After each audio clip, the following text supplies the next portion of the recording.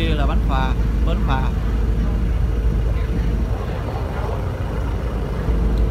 Chỗ màu trắng trắng là bến phà.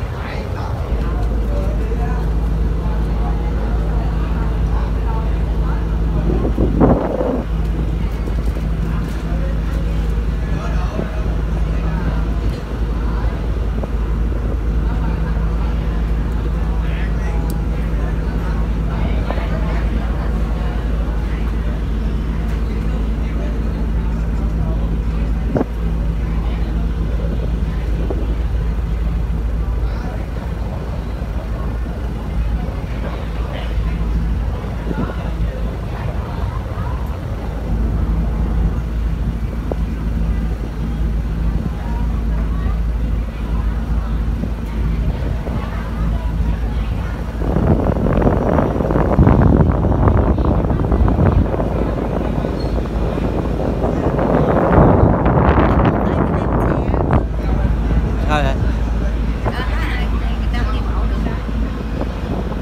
muốn đi chơi cũng được hả? Ai nói? Hồi đó đi bộ không hả? Thiệt chứ có giọt trước rồi quá. Qua mấy chuyến phà trước rồi.